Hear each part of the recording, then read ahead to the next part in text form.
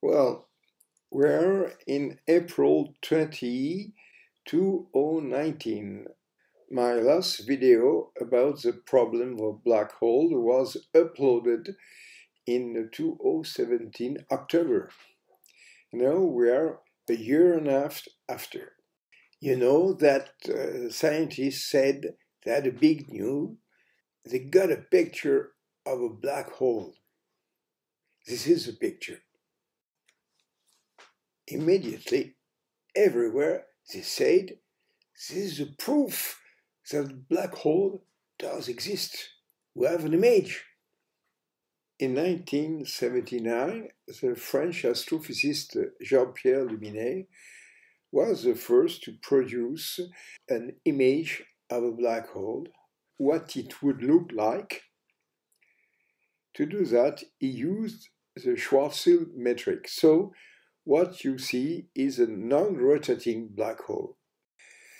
To produce an image of a real black hole, people should use the Kerr metric, you know. But this is much more complicated. So all the images that we can see on the net, almost all, are made with the Schwarzschild metric. Such an image, in any case, based on the Schwarzschild metric, would be unrealistic and it would be the result of the collapse of an object. Even with very small rotational movement, this loss should be enhanced like for neutron star whose rotational velocity can be a thousand times per second. But this is a detail anyway. What the astrophysicists say, if you would be close to a black hole, you will see something like that. I mean, some sort of dark spot. For rotating black holes, that would be similar. On this image, the black hole is supposed to be alone. There is no disk of matter all around it. But you can also imagine that such an object would be surrounded by matter, by gas, forming that we call an accretion disk. From that disk, the matter is continuously poured into the object, whirling around it in large spiral path. Now imagine that the central object would be a black hole. Let's get closer. What would we see? A black spot surrounded by odd gas circling around.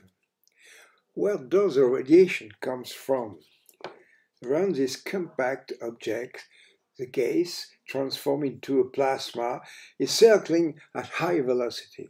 We know that when we move electrons along circular path, they emit synchrotron radiation, so that this object is a powerful radio source. So, what was pictured recently at the center of the galaxy M87? The galaxy M87 was discovered in 1781 by the French astronomer Charles Messier. This EV spherical galaxy is located in the cluster Virgo, which is composed by 2000 galaxies. Our galaxy, the Milky Way, is composed by 200 billion stars. The span is 300 million light years. M87 is bigger and heavier. Its span is around a million light years, three times larger than our Milky Way. It is 200 times heavier. Our nearest galaxy is Andromeda, which is two and a half million light years distant. M87 is 53 million light years distant. Since 1947, astronomers identify a radio source at the center of this galaxy. More recent and precise image reveals the presence of the large jet extending at very large distance, composed by hot gas expanding at relativistic velocity. By the way, there are two lobes symmetrical, but the second one is not visible due to relativistic Doppler effect, but it still does exist. If we could see this object from another angle, we should see the two lobes like that. It is just an artist's impression. Here is a new artist's impression which shows these two jets. The galaxy M87 is also a source of X-ray and gamma rays. The lobe extends over 250,000 light years and the expansion velocity is close to the velocity of the light. M87 is that we call a galaxy with active galactic nucleus. The analysis of the structure of the jet and of some rings located at the center of the galaxy seems to show that the activity of the jet is pulsating. Now let's go back to the picture published a few weeks ago. First, there are not the real colors. The object is not uh, red and uh, yellow. There are that we call false colors. This image just shows that the radiation emission is stronger at the periphery and weaker at the center. What kind of radiation? It is what is captured by radio telescopes. The characteristic wavelength is around 1 millimeter. A technique called interferometry makes possible to extract a very weak signal from a large noise. The astronomer used a set of radio telescopes located at different places on Earth.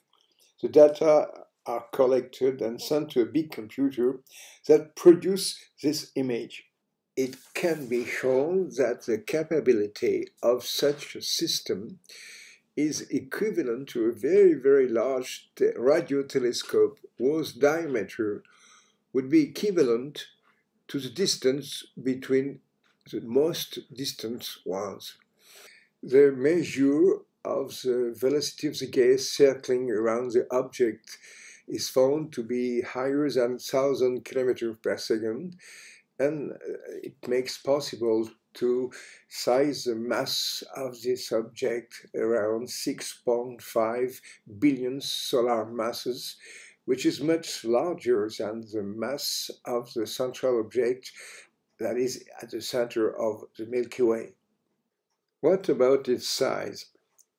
It is larger than the size of the massive object located at the center of the galaxy.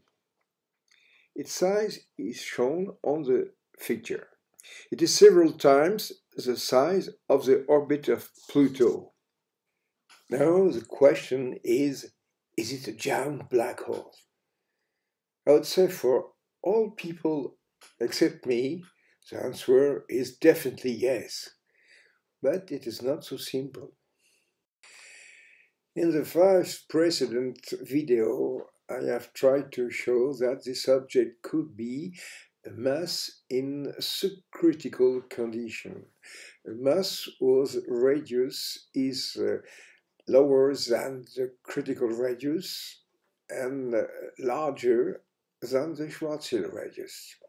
In such condition, there is no event horizon, there is no central singularity. The object can be described by a couple of internal metric solutions, external metric solutions.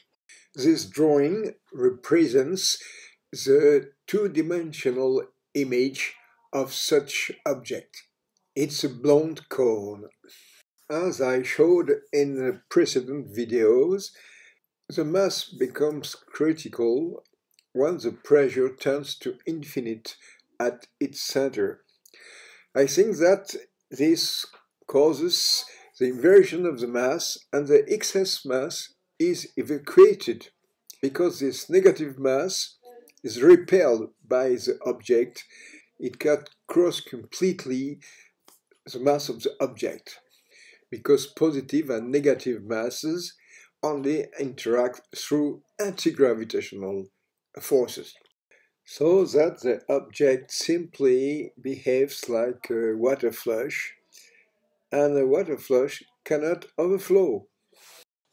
Whatever large is a poured mass, If I am right, such object would naturally get the subcritical configuration. For neutron stars, this limits their mass to three solar masses, which is a subcritical mass. Consider the object pictured at the center of the galaxy M87. Even if it doesn't correspond to a black hole, to such exotic geometry with event horizon, even if it is a subcritical object, it would be so close to the black hole configuration that it would distort space all around it and produce this kind of image. What about the black spot at the center? If it is a black hole, that spot would be perfectly black. No light could come from. If it is a subcritical object, the light emitted by the object would experience a strong gravitational redshift. The corresponding energy would be greatly weakened so that the central part would be dark. What about the matter around it? If it is a black hole, this gas circles at a velocity that tends to the velocity of the light. If it is a subcritical object, this velocity would be smaller but large enough to produce strong synchrotron radio emission. As a conclusion, this image could correspond to a subcritical object.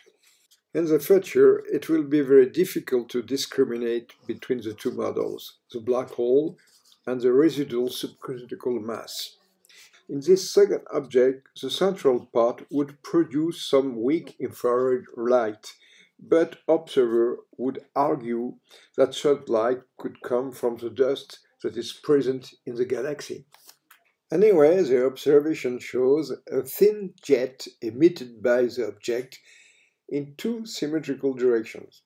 This suggests that this plasma emission is focused by a very strong dipolar magnetic field. Okay, but how does this huge magnetic field get formed?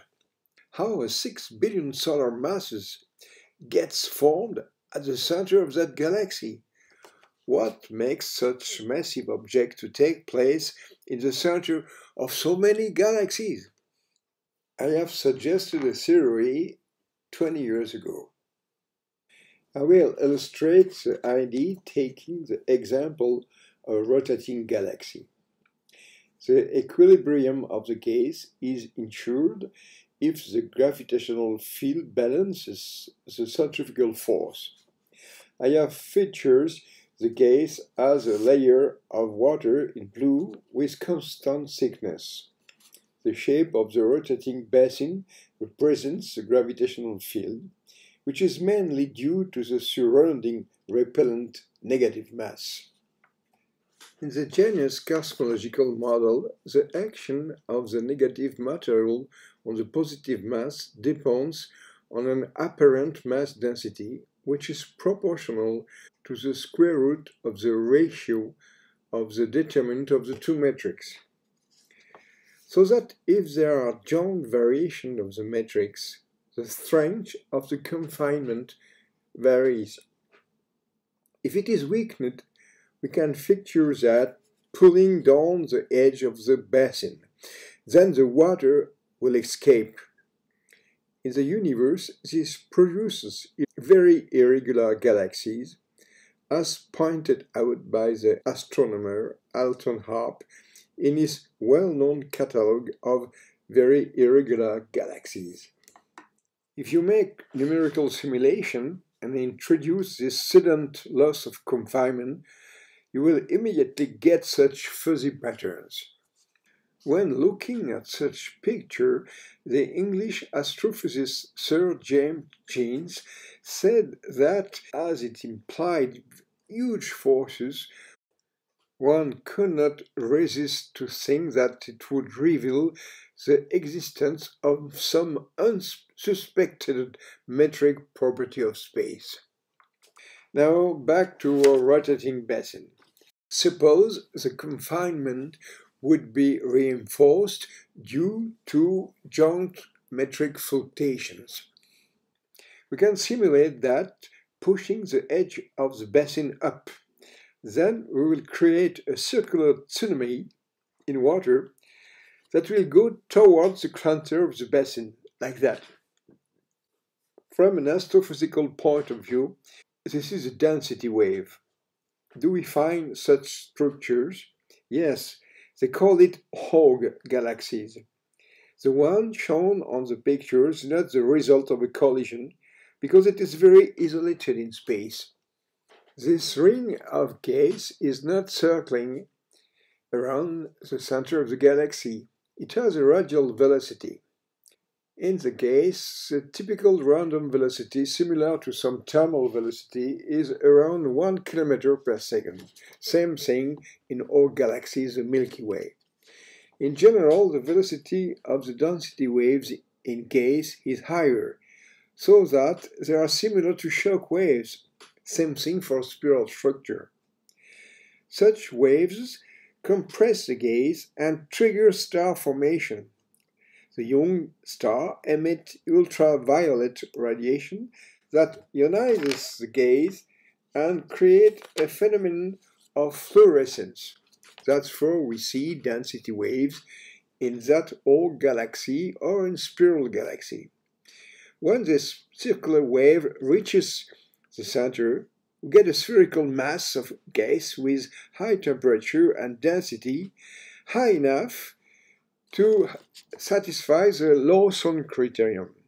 Immediately, fusion occurs in the bulk, in the whole mass of gas, and then we get a quasar that emits as much energy as a whole galaxy. I think that the quasar phenomenon is a transient phenomenon. I have presented this uh, model in a book published in 1997, 20 years ago. The title is uh, Half Part of the Universe is Missing. Here are the features of the book. In the galaxy, you have a weak magnetic field whose intensity is around 1 microgauss. On the first image on the left, you see this magnetic line perpendicular to the plane of the galaxy. In the density waves, the young stars ionize the gas and create strong magnetic Reynolds conditions. Then the magnetic lines are frozen in when the wave moves towards the center, it gathers such lines together. This enhances the local strength of the magnetic field. When those lines are crushed at the center of the galaxy, due to the conservation of the flux of the magnetic field, the intensity reaches some thousands Tesla. Fusion produces hot plasma that follows the magnetic lines. Then you get two jets.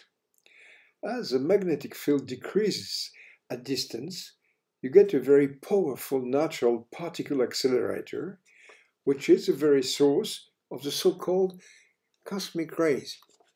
Of course, this model is somewhat different from the mainstream model based on the energy emission from a black hole. After a strong energy emission, fusions ends. At the center of the galaxy, we get a remnant mass cooled by radiation emission, which keeps its huge magnetic field, which takes part of, to its final equilibrium. Giant metric fluctuation occur from time to time which brings more matter and trigger fusion and energy emission. That's for the jets are not regular. Similarly, we find rings around the object. Anyway, if I am right, the configuration of these objects would be limited by the criticity. When some more matter is carried to the object, it creates a shock wave it warms the gas and triggers new energy emission. But at the same time, mass inversion occurs, which eliminates the excess matter and maintains the objects close to criticity. As a conclusion, I think that all massive objects located at the center of galaxy are the remnant of a reiterated quasar mechanism. Well, I think I must be the only one French crazy astrophysicist who's still skeptical about the existence of the black holes, whatever they are giants, medium, or small. Someday nature will say which model is a good one, but you know, I am 82. So I think that when this answer will come, I will probably observe all that from the paradise. Anyway, it's time to sum up. Can we draw the long story of this Janus cosmological model? At first, in 1967, the Russian Andrei Sakharov tried to explain the absence of primeval antimatter. Then he suggests the existence of two entities, positive matter or matter and twin matter. This last would be located in a twin universe. Our universe and this twin universe would be linked by the initial Big Bang singularity. On the figure, you can see a two-dimensional didactic image of this uh, Sakharov's model.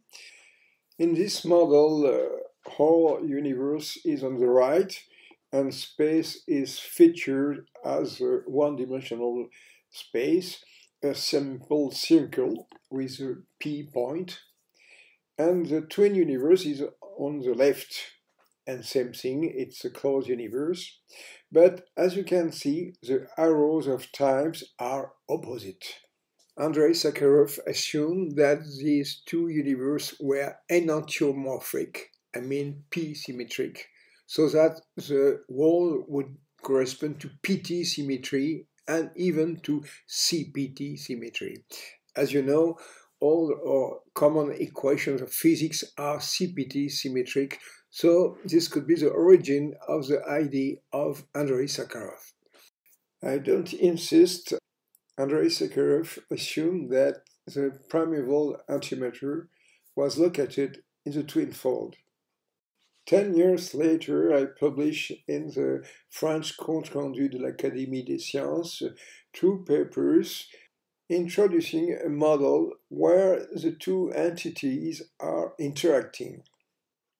Same thing, the arrows of times are opposite and they are enantiomorphic folds. From a geometric point of view, it corresponds to uh, the folding of the Sakharov model that way. The puzzling question was about this inversion of the arrow of time. What could be its physical meaning? The answer was given by the mathematician Jean-Marie Souriau in 1970.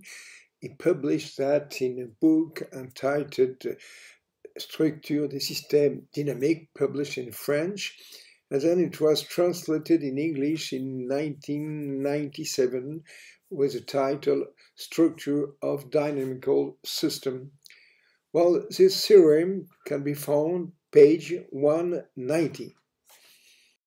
It was based on group theory. It showed that uh, when the time was reversed, then the energy was reversed too. As the energy is mc squared, it implies that uh, energy inversion goes with mass inversion. It was tempting to introduce negative mass in astrophysics and cosmology. I tried just by intuition to deal with the following interaction schema. Uh, masses with same signs mutually attract, and masses with opposite sign mutually repel. But it is not what comes from the Einstein model ruled by the Einstein equation. We know since the 50s that the corresponding schema from the Einstein equation is the following. Positive mass mutually attract through Newton's law, negative mass mutually repel by anti-Newton's law and a puzzling system, the positive mass escapes, chased by the negative mass. This is the source of a, an unmanageable effect called the runaway effect. The two masses get kinetic energy infinitely. As the negative mass has negative kinetic energy, the energy is conserved. So the physicists cannot deal with such things. In 1957, as shown by Hermann Bondi, the conclusion was that we couldn't put negative mass in a cosmological model. In 1994, I was the first to introduce a bimetric model of the universe with two metrics and two subsequent field equations. According to this uh, Janus model, ruled by uh, two coupled field equations, positive masses follow the geodesics as derived from the first metric, negative masses follow the geodesics as derived from the second metric. Then the interaction schema was this one that was published in the Italian journal Nuovo Cimento. Considering a mixture of positive and negative masses with equal importance, Numerical simulation showed how the two spaces separated got divorced. On this figure, the positive masses were featured by circles and the negative mass by crosses. And on the right, uh, one is gray and one is white. But it did not look like the very large structure of the universe. So I tried to look at a fairly unsymmetrical system in which a negative mass would be dominant. Then this last formed a series of negative clusters. They repelled the positive mass in the remnant place. Here you have two together. And it corresponded for positive mass to observation to some sort of uh, joint soap bubbles. You probably know that the mass in the universe is arranged around big voids, uh, hundreds uh, light years diameter. In 2017, the mapping of the universe at large size showed the evidence of what was called the grid repeller. I think that a negative mass cluster lies at the very center of that void and repels the galaxy. We don't observe this cluster because negative mass emit negative energy photons that our eyes and telescopes cannot capture. By the way, galaxies take place in holes in the negative mass distribution, which confine them and uh, ensures the flatness of the rotation curves. The surrounding negative mass focuses the light rays due to negative lensing effect, so the strong uh, gravitational lensing are explained by the presence of this uh, surrounding negative mass.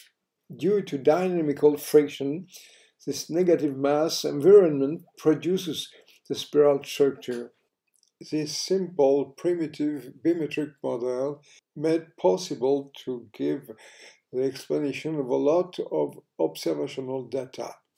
In 2002, two other researchers, a French academician Damour and Ian Kogan, published a 40 pages essay in the journal Physical Review D the approach is very different. They consider two branes interacting through a massive graviton and consider a spectrum of mass.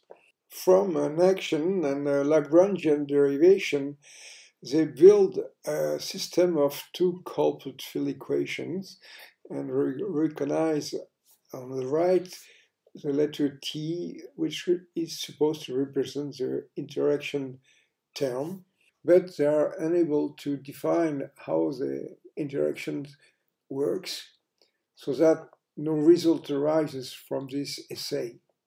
In 2008, the German mathematician Sabine Hossenfelder publishes a paper in the journal Physical Review D based on the Lagrangian derivation. She gets her own uh, system of coupled field equation, more refined. Here I put together the three systems of coupled field equations. Top left, mine, 1994. Then the system of Damour and Kogan, 2002. And then Hossenfelder 2008. Notice the similitude. Their first member are identical and similar to the first member of the Einstein equation. These come from the general derivation technique as introduced by David Hilbert to build the Einstein equation. Surprisingly, Sabine Hossenfelder did not keep the path. She didn't publish any more paper about that. She missed the target.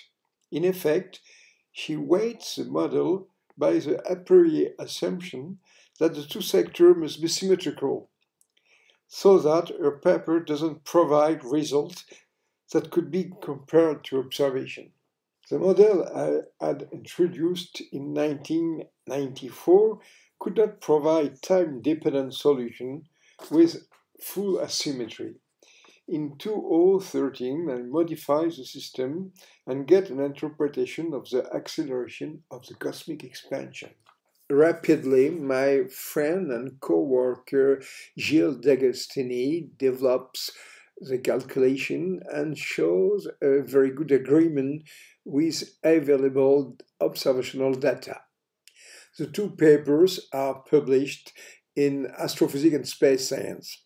On the figure, the data from 740 supernovae, which shows the acceleration of the cosmic expansion.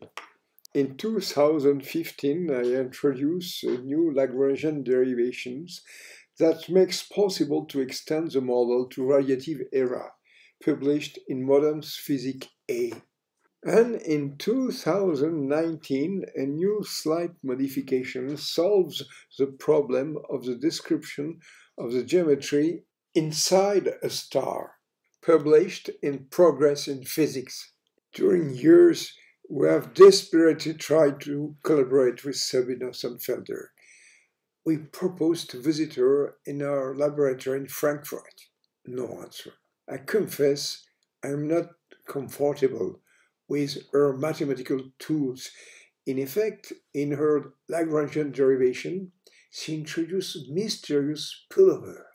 This is a serious call if anybody understands what is a mathematical pullover, please contact us. To us, it remains a perfect mystery. I did everything I could do. I made a nice portrait of her and I sent it it was appreciated. But after many years of scientific silence, I received suddenly that abrupt message. The equations that you use are the equations that I derived in my paper. You should not pretend that those are your equations. It is factually incorrect and easy to prove wrong. I know that you did it previously. If you continue to do so, I will see myself forced to write to the journal's editor and take your paper down, Sabine. Nothing else.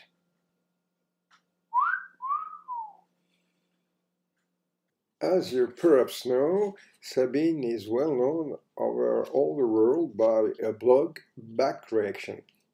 In this blog, she comments all kinds of scientific subjects. Last year, she made a comment about Jamie Farnes' toy model. As a conclusion, she says that Farnes brings more problems than he brings solutions. But not a word about Janus or about her paper of 2008. Moreover, in 2018, Sabine Hossenfelder publishes a book entitled Lost in Math How Beauty Leads Physics Astray. A contrarian argues that modern physicists' obsession with beauty has given us wonderful math but bad science. Whether pondering black holes or predicting discovery at CERN, physicists believe the best theory are beautiful, natural, and elegant, and this standard separates popular theories from disposable ones. This is why Sabine Hossenfelder argues we have not seen a major breakthrough in the foundation of physics for more than four decades. The belief in beauty has become so dogmatic that it now conflicts with scientific objectivity. Observation has been unable to confirm mind boggling theories like supersymmetries or grand unification invented by physicists based on aesthetic criteria. Worse, these too good to not be true theories are actually untestable and they have left the field in a cul de sac. To escape, physicists must rethink their methods. Only by embracing reality as it can science discover the truth. Again, in that book, not a word about Janus, nor about Hossenfelder's work about bimetric. Back to her message, it seems that suddenly Sabine discovers the large benefit of a bimetric approach of the universe and claims for her priority and due. Why not? Few days later, I decide to send her a message. Saturday, April 13, 2019. Dear Sabine, you know, I am 82. I have few years left. What's important to me to move the things? Why don't you write a paper showing that the Janus cosmological model corresponds to a peculiar case of your system of coupled field equation, if you think it's the case? We could sign this paper together, and that would be cleared up. We are not enemies nor competitive. We could be co-workers. You are a brilliant mathematician. You could bring tremendous results. We need you. Together we could make a breakthrough, get new works, publish books. Immediate answer. Dear Jean-Pierre, I do not wish to collaborate with you. I want you to stop pretending that the equations that were very clearly derived by me are yours. With my best regards, Sabine. This represents a sad part of the history of science. But after all, who knows? Perhaps Sabine Hossenfelder is the Einstein of the third millennium? Well, we are in 2019. Since 1977, as you can see, it's a quite long story.